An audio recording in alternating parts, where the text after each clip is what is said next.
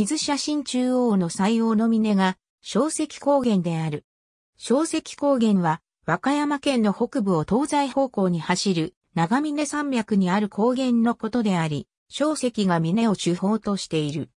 和歌山県の北部を高野山から海南市方面へ伸びる長峰山脈の一角を成している高原である小石高原は海藻郡君野町中田と有田郡有田川町小石にまたがる高原であり、小石が峰を中心に隆起順平原の平面が続いている。その山頂一帯は、ススキで覆われた約13ヘクタールの大草原となっている。春の新緑、秋のススキのシーズンは関西一円から数多くの観光客がその自然に触れることを目的に集まってくることでも知られている。また山頂からの眺望も非常に良いことも相まって和歌山県内有数の行楽地となっている。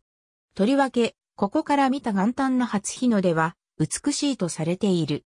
産業としては、山腹に国民宿舎があるなど、観光振興がなされているほか、高原であることによる気候の特性を活かして、トマトやキュウリの抑制栽培も行われるなど、農業も盛んである。以前は別荘地開発も行われていた。高原一帯は、小石高原県立自然公園に指定されている。地質学的には、古生層からなる隆起順平原の高原である。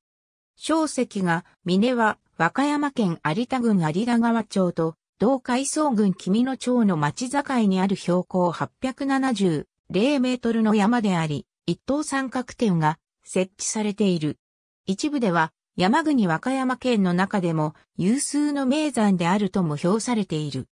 山名の由来は、有田川町側山腹の高さ50メートルで、小石神社祭神でもある大岩を大石と表記していたものが転じて、小石と書くことになったのに由来するとされている。小石が峰の山頂一帯は、古くから定期的な山焼きが行われていた関係で、すすきの大草原が広がっておりその優れた景観は、見る者を感動させてきた。春の新緑、秋のすすきのシーズンは、関西一円から数多くの観光客がその自然に触れることを目的に集まってくることでも知られている。また山頂からの眺望も非常によく、晴天であれば、北には泉山脈や龍門山、東には小箱岳、ごま段山など、奥、高野の山々が見渡せるほか、空気が澄んでいれば、六甲山や淡路島、さらには、紀伊水道を挟んで徳島まで見通すことができる。なお2003年からは、すすきの草原については、ボランティアの手により、年一度、春に山焼きが行われている。小石が峰に関するカテゴリー。ありがとうございます。